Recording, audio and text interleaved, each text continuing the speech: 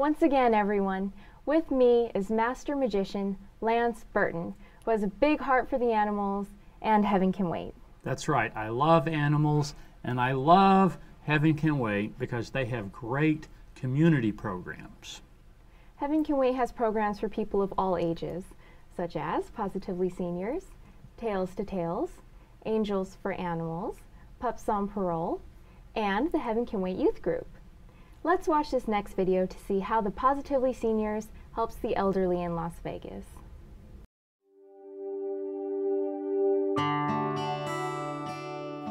Senior citizens sometimes suffer from loneliness and need companionship in their later years.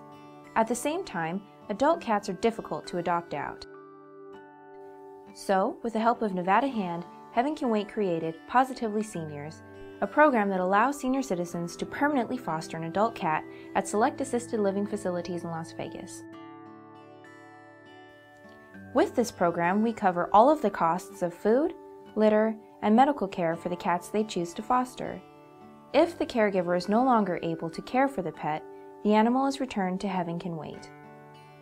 We help by giving them a new friend, and they help by taking in a cat that wouldn't be adopted as quickly as a cute little kitten. It's a win-win situation for everyone. I just love them so much I can't help getting emotional. So Yes, because they've made such a difference in my life, as I say, they have made such a difference in my life. Somehow you're at the bottom of the priority list. Families get very, very busy being grandparents themselves. And you get depressed and you get lonely. I live alone. and uh, I thank God that I'm able to do as much as I do. Who could not love them? I'm sorry if I get emotional, but they're my babies. They're my family now. I'm not, not as lonely. I'm not depressed. My blood pressure's low. I actually say a prayer for heaven can wait and thank God that they're here. I really do. I start thinking how grateful I was. And then, well, what can I say to Elaine when she comes? And so, well, if I write how I feel,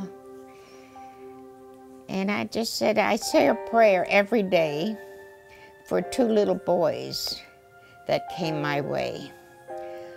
Although I have a family, loneliness overwhelmed me. I hid my pain from other folks and laughed at silly jokes. Living alone at 89, telling my kids, hey, I'm just fine.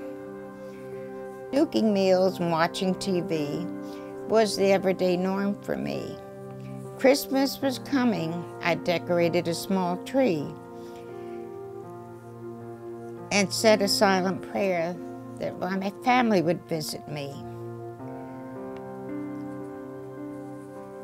Uh, my prayers were answered, but not by family. Elaine from Heaven Can Wait brought Otis and Benji to me. Otis and Benji are brothers.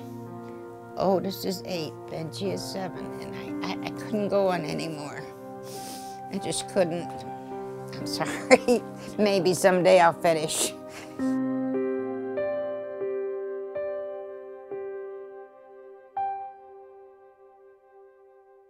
How cool is that? Very cool. and if you at home can do anything to help, please do so. Donate money, donate time, spread the word. We all love our little fur faces. Thanks for watching. Thank you, Lance, for joining us today. We appreciate it so much. My pleasure.